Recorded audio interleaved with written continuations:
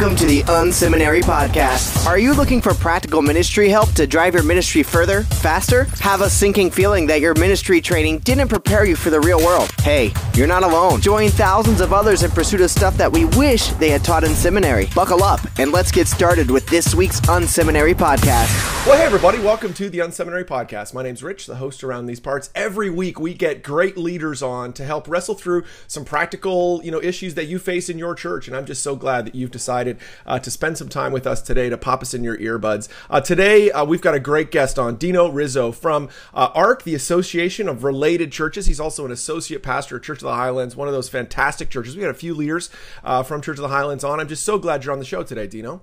Oh, thanks so much. It's a, it's a real honor, and I appreciate you. Oh no, that's that's great. For folks that don't know, the ARC or Association of Related Churches is really a you know a, a, a church planting, church support organization started by six pastors about 15 years ago. They've launched literally hundreds of churches. What, how much are you up to? How many churches are you up to supporting now? We're right at 566, which is kind of exciting. It's it's been a fun it's been a fun couple of years. That's amazing. Uh, watching you know it, it it grow and yeah, it's 15 years old. Our founder was Billy Hornsby, who was just we called him the biscuit, uh, you know, from Louisiana, and was just a great man and put us put us in the right trajectory. He passed away a couple years ago, but mm. uh, he, he's still in, in all of our hearts. Nice, very cool. Well, why don't you tell us about ARC and then tell us about uh, a bit of the Dino Rizzo story? well, I mean, ARC began with a conversation that Billy Hornsby and Greg Surratt had, Pastor Greg Surratt there in Seacoast. He, mm-hmm. just, he, he, he's my boss, and so uh, he's just just a great a great conversation about what could it be like if we came together and helped plant churches where we didn't have to go through it the way all of us did. uh, you know, my wife and I we planted a church in 1993, mm-hmm. a Healing Place Church in Baton Rouge, pastored for 20 years, mm-hmm. and we started man, we started with, with nobody and no money, mm. uh, and so. I, I was I, I, was brought into a conversation then, and uh, along with Scott Hornsby, and then we said, you know, let's plant some guys. And so the first two guys were Chris Hodges and Rick Bezet. They planted on the same day. That was 15 years ago. And so it's been a lot of just learning. Uh, mm-hmm. We in our offices here in Birmingham now. Mm-hmm. Got a great team, a great staff, and uh, we do a lot of uh, a lot of assessing, mm-hmm. a lot of uh, pre-launch coaching, mm-hmm. uh, a lot of conversation as relates to resources and building a launch team and what does your experience look like and what does your prayer base look like and you know, and, and, and how are you, you putting together the different aspects of ministry. And so it's a lot of fun, man. We're just having a blast helping couples live out the dream in their heart. Mm, very cool. You know, I know you obviously have a, a great perspective. You've you know influenced a lot of church leaders. You get a chance to see a lot of different church leaders, and in your you know own kind of journey, when you look back at kind of you know as you're you know coaching and leading leaders, what would you say are some of those demands that that are you know that come onto church leaders that may you know maybe derail or push them in the wrong direction? What what does that look like for for you? Well, I mean, you, there's so many, and a mm. lot of them are self-imposed. Mm. You know, and I, I, know I went through a time where I, I derailed a little bit and just mm. tried to try to sort things out. And you know, if you don't have good friends, if you don't have a good pastor, if you don't have people in your life that you can bounce things off of, I think mm. sometimes we feel like we've got to we, have got to have the answers to everything, and mm. we've got to be the man. And it's hard to, so you know, raise your hand and say, "I have a question," or "I don't feel good," or "Can I go to the bathroom?" you know. and so we we just stay stuck, and mm. sometimes we're unhealthy and we're overwhelmed and uh, we're stressed. And so I think watching great leaders and communicating with leaders and, and, and going through the ups and downs. That's one thing I love about ARC is we have a group of friends that we've been friends for a while, and we've been through the ups and downs, the good, the bad, and the ugly. Mm. And at the end of the day, we need each other. We can't isolate. Uh, we've got to be willing to sit at a table with people that are not impressed with us, that'll ask hard questions. And then if we're not doing well, that they'll let us in a safe harbor get healthy, mm. whether it's our marriage or dealing with our kids, or our money, or just own personal pain or personal defeats, mm. or sometimes our successes that get us all jacked up. Mm. And uh, and so it's just you know community and commun- and conversation is huge among leaders because if you're alone in your own thoughts, mm. uh, you can go crazy. Absolutely, and I think a lot of times church leadership. I know uh, I can identify this in my own, you know, world. It can be sure. a fairly isolating experience. It can, you know, you look around and you're like, I can't really talk to the people in my church. I have a hard time doing that. They're coming to me all the time with their problems. How do church leaders, how do pastors develop relationships with other, you know, safe folks? folks that love them, but I love what you said, aren't impressed with them. you know, Yeah. folks that are like, hey, these are people that I, you know, uh, ca- they care for me, but at the end of the day, or they know we're, they know we're human. How do you build those relationships? What does that look like? Well, you, it's risky, and you got to Mm-hmm. put yourself out there. And um, you know, they've got to be spirit led. They've got to be a little bit of kind of, you know, I, I use the word. It's got to have a covenant feel to it. Where hey, Mm-hmm. man, we're in this thing. You got blood, I got blood. Uh, it's it's reciprocal. Um, you know, this whole, you know, I'm waiting on someone to mentor me. That ain't going to happen. Right. Uh, I, I better, I better connect. I better step out of my my closet and connect with someone and not be isolated. Uh, you know, I used to surf back in the day when I was a whole lot thinner and a whole lot younger, and we always had a rule. My dad and, and mom, I could go surfing at five in the morning. I could surf almost till dark. And one rule: don't surf alone. Don't surf alone. The tides, the current, the sharks, you know, the crazy. Um, it's just too risky, and I think sometimes you know you could pastor if you're pastoring alone or you don't want to plant a church alone so i think you know you you've got to be able to to uh, put yourself out there. You want to be able to not be afraid to risk. Um, and and i think there's ways i think there are people out there there are big brothers that want to connect with you and uh, and so i think you got to pursue it you can't wait on it to come to you Why don't we talk about both sides of that conversation? Let's say you'll put yourself in the shoes. Maybe it's a young church planner, maybe it's a young leader at a church, and you, they're, they're today they're sensing they're a bit lone, alone. How do they start that conversation with a big brother? What does that look like? How, you know, how, how would they? How would you suggest they even begin that?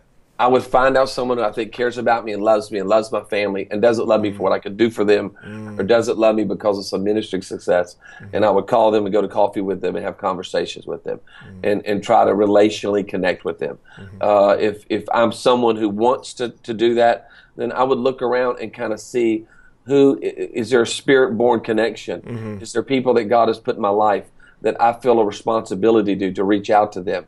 Um, you know, I, I think you got to take steps. You just got to get out of the boat and take steps, and and and know that the that the risk of isolation is greater than the risk of putting yourself out there. And uh, so I, I just think that's key, and, and that's so important today. We try to do that with church planners. We always match them up with a coach or match them up with some other guys that are planting, so that there's a similarity of experience, and they're hey, we're in this thing together. And so it's just huge and important. And I I've seen the pain of it in my own life when I isolated, and the and the consequences of that and I've watched that with, with buddies, and uh, it, it's it's better to not surf alone. Surf in a pack, find a squad. nice. Now, what is what does a kind of healthy rhythm for you look like these days? Obviously, a part of this is is getting your life pattern kind of into into a you know a healthy rhythm, rhythm for your, yourself. What do you what would you, what does that look like in your life, and what is, what do you suggest for other pastors or leaders? Well, I've learned a lot. I've learned a lot from my pastor now, Chris Hodges. Uh, he's very healthy, and, and and and with a growing church like it is, and the demands that he has on it, and watching what's happening around here. Um, I was not good at it for a long time, to be honest with you. I just was, I just ran hard and never said no, and um, probably was uh, a little unhealthy on approval addiction and uh, just yes to everything. I don't think it was out of being wicked. I think it was I was consumed with helping the poor and making a difference in people's lives. And it was that old school kind of youth pastor die for the cause. Right. So I, I was dying for the cause, all right. Right. And uh, and and so was my all of everybody around me. So here's what I do now. Um, I don't let uh, technology rule my life. Uh, there's a time that I put the phone down, and there's a time to um, to to not let your because we're the we're the first generation that has a whole world in one device, uh, and and that's tough. Uh, I sleep. You know, there were times that I had horrible sleep patterns, and I didn't sleep, and I stayed up way too late, and I didn't get enough rest. When you don't sleep well, you don't have good thoughts. Matter of fact, if you're sleep deprived, you can have irrational thoughts about people and things that you're doing, and your even yourself. Um, you know, the other thing that I do is uh, I have honest conversations now more than ever, very transparent conversations. Um, I think I have uh, ranked things differently in my life of what is true success as it relates to my wife and my children and deep friendships. Being able to sit on the back porch and drink a cup of hot tea, uh, being able to read, learn how to do nothing um, for the sake of just rest. And so I think I've learned how to rest. I've learned how to chill. I don't overreact like I used to. I lived very overreacting for a lot of years, and, and I see a lot of guys doing that today. They overreact a lot, and they're they're not. Um, there's just not a settledness and a peace. Uh, at the end of the day, we have to believe in the sovereignty of God. Know that God is sovereign, and uh, you know we got to have healthy rhythms. Mm-hmm. And I and I have a couple guys in my life now that help me with that. Right. So I have I, with my calendar because mm-hmm. my calendar can get crazy. Mm-hmm. And then I, I, kill all my margin. I have no margin. Mm-hmm. So, uh, you know, the engine never rests. And, I, and, and it's hard to work on a hot engine. Mm. And sometimes the engine has to cool. And I never let my engine cool. Then I have a couple kind of uh, coach uh, counselors that I speak to about once a month, and, and we ask questions about my, my rhythm. Mm, that's very good. I, you know, there's a lot packed in there. I hope if you're listening in, I know there's a lot of church leaders that find themselves tired today. A friend of mine talks about being dangerously tired, um, and just actually unplugging um, and saying I've got to slow down. You know that it's at the end of the day, it's the Lord's church. It's not my church, and and you know it and it will go on um, even if we turn off the phone and go to sleep. Um, you know for sure. Now, what would you say? Um, you know, maybe there's a church leader today that senses, hey, I, I think things are a bit out of balance, but I'm not sure what first steps to take to kind of get life back in balance. Um, you know, what would you say? You know, what would be some of those first steps they could take? Well, you, you got to kind of do an inventory. You know, mm-hmm. how's my soul? How's my spirit? How's my relationships? Ask your wife. Mm-hmm. Uh, lean into your children. Uh, maybe there's somebody in your life that you have that relationship with. Look at your calendar. Do you have margins? Mm-hmm. Are you uh, are you honoring the Sabbath? Mm-hmm. You know, do you actually have a time where you do nothing? Mm-hmm. Um, you know, so uh, true, honest appraisal, not that kind of fake appraisal uh, where you really look and say, you know what, I've not had a day off. Mm-hmm. Uh, I have not prayed or studied uh, for Jesus' sake in a month. Mm-hmm. Everything I touch, it's about presentation. Mm-hmm. And I know that there was a time in my life where I realized that all of my prayer and all of my prep was for presentation's sake. Right. right. And if all of your prayer and all of your, your prep in your spirit and soul is for presentation's sake, then you're going to end up with a, a vast deficit in your soul. And so there are days that now, you know, do you ever spend some time in worship? Do you ever spend some time in meditation? Not for leading, mm-hmm. just for loving God. That's a good place to start. I'm telling you. At the end of the day, I think one of the things that I've learned at Highlands that uh, I think have helped me become more healthy is just old fashioned prayer. Mm man, just do I have time to spend with God? Mm-hmm. If I don't, I am headed for a train wreck. Mm, very true. You know, just changing gears uh, a little bit, you've really been a leader in um, you know, combining both service and evangelism together to see, you know, I think there was a false dichotomy for too many years between, you know, kind of the proclamation and the demonstration of the gospel. And I think you've really been a, a leader in, in both thinking and kind of pushing churches to think that way, which I appreciate that. And I just thank you for that uh, in all the ways that you've done that over the years. You know, what, are, what is your kind of current thinking on how, you know, we should be serving our communities and really community transformation? And what does that look like? What are you, you know, kind of where are you at with that these days? Well, I, I'm still dedicated to it, and that's one of my roles here at Highlands is I oversee all of our outreach and at all of our campuses, uh, local, and then also national with ARC and, and a thing we do called Grow, and then also with international. And so I love how you said proclamation and demonstration. You you nailed that one, my man. I'm gonna steal that one. great. That's, okay. That's, it's, great. It's, yeah, it's on my idea. So go, go ahead, please use yeah. it. yeah, it's it's those are great bookends for the gospel. Mm-hmm. And uh, you know, I I didn't start out okay, we're gonna do this. It was just because of where we were serving in Louisiana. You know, you just were dealing with a lot of people that were struggling and they were having hard times. So we just realized that, man, we need to be the hands and feet of Jesus. They're not going to hear us unless they see us. They're not going to, it's not going to touch their heart if it's not touching their life. And so we were kind of forced. Uh, I think God put us in a spot where we had to merge the two. There wasn't a choice. And out of that, I just really began to see all throughout Scripture that I just believed it was the way of Jesus. Uh, just loving people, being out in the community. He was there. He was among them. He was touching. He was caring. He was noticing. And uh, I think it begins with noticing. That's a big important word that, that I believe. If you're going to impact a community, if you're going to see people come to Christ, you got to notice what's happening around you. Mm. You got to notice the pain. You got to notice the cry. You got to notice the tragedy and the heartbeat and the, and the heartache of what's going on around you in your community. And I think there's a lot of ways to do that. It's just keeping your head on swivel when you're out. It's looking at your local newspaper or local local paper online. It's just knowing what's going on, who's taking their life, what type of domestic violence is going on, who's hungry, what schools are failing, what people are falling apart, what type of addiction is going on. And just, Lord, how can we be the hands and feet of Jesus? And I don't think it costs a lot of money, nor does it take a lot of people. I think one person can make a difference. Man, I appreciate that. Is there anything else you want to share before we kind of pivot into the rest of the episode? No, I just appreciate this. I always love being able to communicate, and, and I love the title, the Unseminary. That is awesome. I went to Bible school, and uh, the other day I was, uh, I just got asked to serve on a, a, a college board, like to be a trustee. so you send in your resume, and they they do all this stuff with it. And I was looking at my associate's degree in youth ministry and adolescent counseling, and nice. I was like wow, that one's going to carry a lot of weight. Not Dr. Dino Rizzo, you know, coming in. That's amazing. That's great.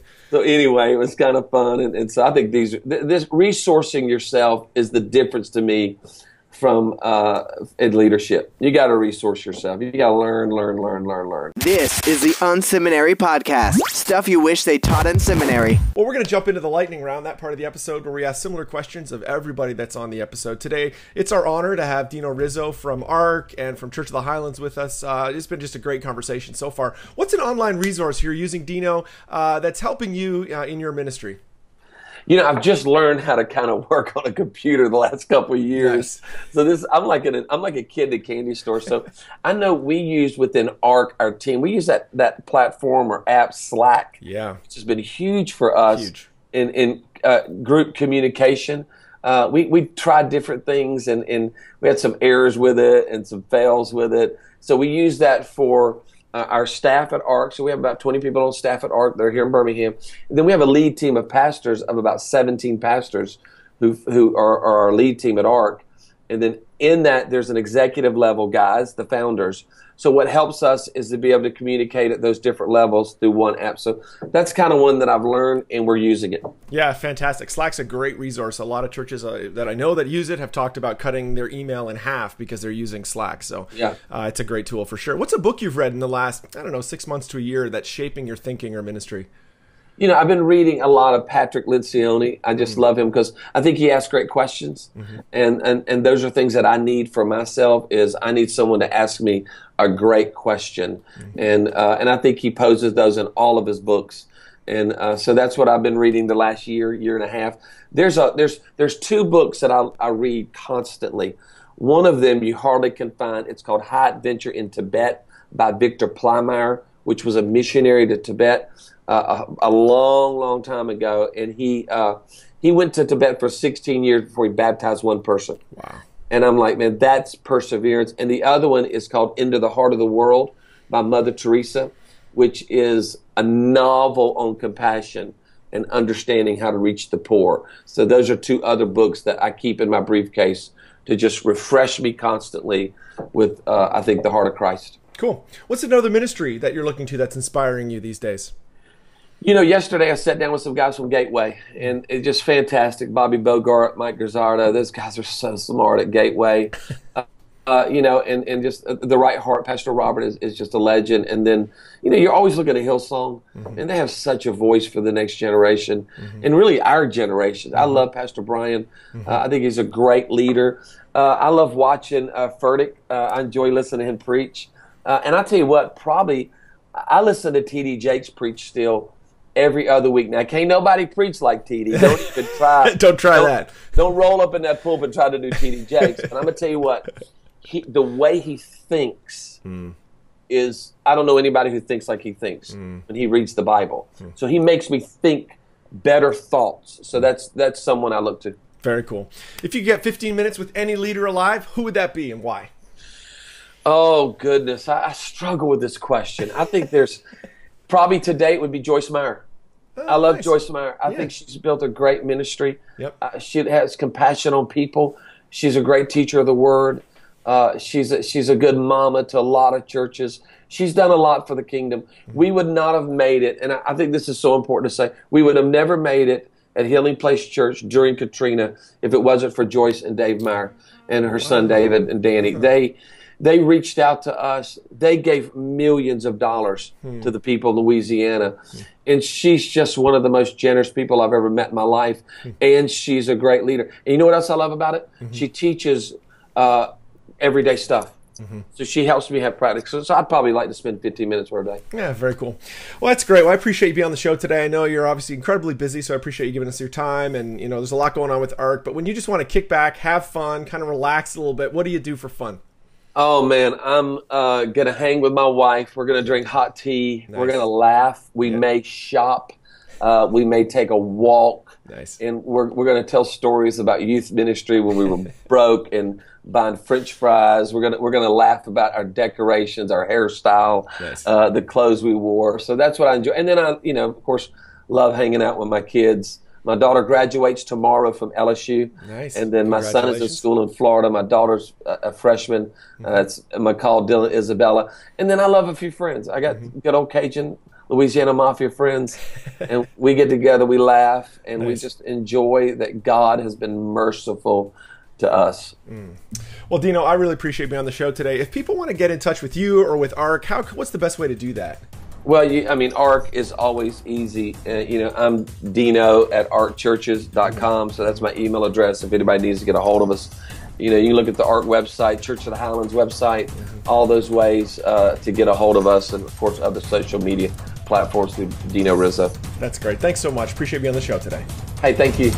Thank you for tuning in to this week's Unseminary podcast. Don't be shy. We'd love to connect. Check out Unseminary Inbox. You can sign up at unseminary.com and we'll send you helpful training resources every week. Plus, you'll gain immediate access to our exclusive members area with tons of resources you can use. Connect with Rich on Twitter at Rich Birch or through email rich at unseminary.com. Don't forget to check out the show notes for this episode at unseminary.com. It includes links to what we talked about today and more. Leave a comment. We'd love to hear from you. Did you enjoy today's episode? Drop by iTunes and leave a review. Thanks again for tuning in to this week's Unseminary podcast. Join us next week when we'll learn more stuff we wish they taught in seminary.